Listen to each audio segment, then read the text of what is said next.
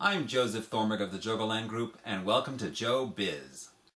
One day while I was training a cashier, she made a common beginner's mistake. I said, let me show you what you did wrong. No, no, just tell me who to call to fix it.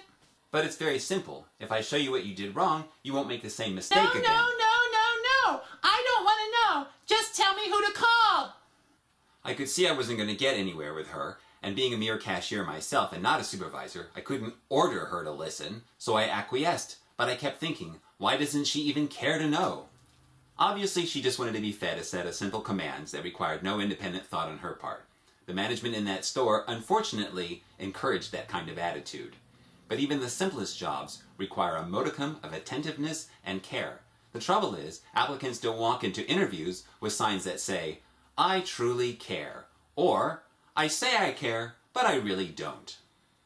So how can a manager tell if an applicant possesses these qualities of attentiveness and care? One way is to ask the applicant a theoretical question involving some skill that he or she does not possess. For example, say something like, Let's say I wanted you to make a late 19th century bustle dress. How would you do it? If their answer is merely, I don't know. you've probably got the wrong person for the job.